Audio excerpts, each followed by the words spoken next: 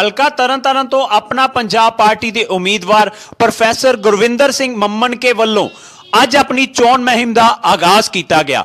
ਇਸ ਮੌਕੇ ਉਹਨਾਂ ਦੇ ਸਮਰਥਕਾਂ ਵਿੱਚ ਭਾਰੀ ਉਤਸ਼ਾਹ ਦੇਖਣ ਨੂੰ ਮਿਲਿਆ। ਇਸ ਮੌਕੇ ਪੱਤਰਕਾਰਾਂ ਦੇ ਨਾਲ ਗੱਲਬਾਤ ਕਰਦਿਆਂ ਪ੍ਰੋਫੈਸਰ ਗੁਰਵਿੰਦਰ ਸਿੰਘ ਮੰਮਣਕੇ ਨੇ ਕਿਹਾ ਕਿ ਸਮਾਂ ਆ ਗਿਆ ਹੈ ਵਿਰੋਧੀ ਧਿਰ ਨੂੰ ਜਵਾਬ ਦੇਣ ਦਾ। ਉਹਨਾਂ ਆਪਣੇ ਵਿਰੋਧੀਆਂ ਤੇ ਤਿੱਖੇ ਸ਼ਬਦੀ ਹਮਲੇ ਕਰਦਿਆਂ ਕਿਹਾ ਕਿ ਭਾਵੇਂ ਕੋਈ ਜਿੰਨੇ ਮਰਜ਼ੀ ਰੋਡ ਸ਼ੋਅ ਕਰ ਲਵੇ, ਪਰ ਇਸ ਵਾਰ ਆਪਣਾ ਪੰਜਾਬ ਪਾਰਟੀ ਨੂੰ ਜਿੱਤ ਪ੍ਰਾਪਤ ਕਰਨ ਤੋਂ ਕੋਈ ਨਹੀਂ ਰੋਕ ਸਕਦਾ। ਉਹਨਾਂ ਕਿਹਾ ਕਿ ਉਹ ਇਸ ਵਾਰ ਵਿਧਾਨ ਸਭਾ ਹਲਕਾ ਤਰਨਤਾਰਨ ਤੋਂ ਜਿੱਤ ਪ੍ਰਾਪਤ ਕਰਕੇ ਨੌਜਵਾਨਾਂ ਨੂੰ ਰੋਜ਼ਗਾਰ ਦਿਵਾਉਣਗੇ ਅਤੇ ਕਿਸਾਨਾਂ ਦੇ ਦੁੱਖ ਸੁੱਖ ਵਿੱਚ ਸਾਥੀ ਬਣਨਗੇ। ਸ੍ਰੀ ਗੁਰੂ ਅਰਜਨ ਦੇਵ ਸਾਹਿਬ ਜੀ ਦੇ ਚਰਨਾਂ ਦੀ ਸ਼ੋਅ ਪ੍ਰਾਪਤ ਕਰਕੇ ਹੁਕਮ ਲੈ ਕੇ ਤੇ ਅਸੀਂ ਆਪਣੀ ਮੁਹਿੰਮ ਜਿਹੜੀ ਸ਼ੁਰੂ ਕੀਤੀ ਸੀ। ਤੇ ਜਿਹੜੀ ਮੁਹਿੰਮ ਨੂੰ ਬਹੁਤ ਵੱਡਾ ਬਲ ਮਿਲਿਆ, ਬਹੁਤ ਲੋਕਾਂ ਦਾ, ਵੀਰਾਂ ਦਾ, ਤਨ ਤਨ ਹਲਕਾ ਨਿਵਾਸੀਆਂ ਦਾ ਪਿਆਰ ਮਿਲਿਆ।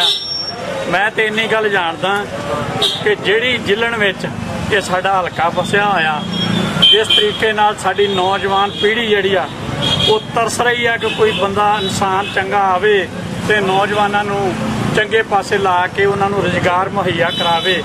ਨਾਰੇ ਬਹੁਤ ਲਾਉਂਦੇ ਨੇ, ਗੱਲਾਂ ਬਹੁਤ ਵੱਡੀਆਂ ਕਰਦੇ ਨੇ ਪਾਰਟੀਆਂ ਵਾਲੇ।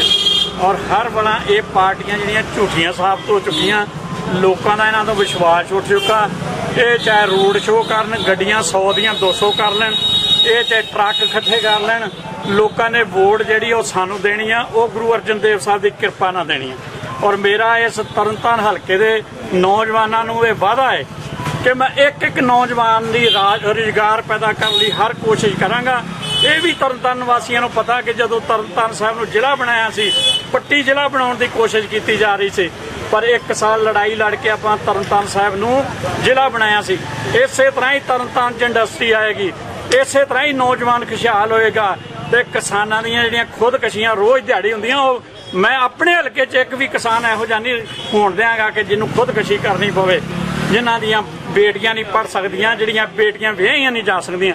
ਮੈਂ ਧੀਆਂ ਦਾ ਸੱਚੇ ਪਾਤਸ਼ਾਹ ਨੂੰ ਆਸਰਾ ਲੈ ਕੇ ਧੀਆਂ ਦਾ ਰਾਖਾ ਬਣ ਕੇ ਸੇਵਾ ਕਰਾਂਗਾ।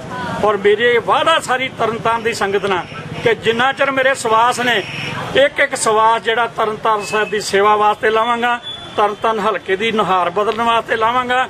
ਔਰ ਮੈਂ ਇਹ ਵੀ ਅਪੀਲ ਕਰਦਾ ਸਾਰਿਆਂ ਨੂੰ ਵੀ ਗੁਰੂ ਅਰਜਨ ਸਾਹਿਬ ਨੇ ਮੈਨੂੰ ਪੂਰਾ ਕੰਫੀਡੈਂਸ ਦਿੱਤਾ, ਵਿਸ਼ਵਾਸ ਦਿੱਤਾ ਕਿ ਫਤਿਹ ਮੇਰੀ ਹੋਏਗੀ ਔਰ ਗੁਰੂ ਅਰਜਨ ਸਾਹਿਬ ਦੀ ਹੋਏਗੀ ਔਰ ਇਹ ਵੋਟਾਂ ਨਾਲ ਹੀ ਜਿੱਤ ਕੇ ਤੁਹਾਡੇ ਸਾਰਿਆਂ ਦੀ ਸੇਵਾ ਵਿੱਚ ਹਾਜ਼ਰ ਰਵਾਂਗੇ। ਤਰਨਤਾਰਨ ਤੋਂ ਵਿਜੇ ਕੁਮਾਰ ਦੀ ਰਿਪੋਰਟ ਜਗਤ ਸੇਵਕ ਵੈਬ ਟੀਵੀ। Audio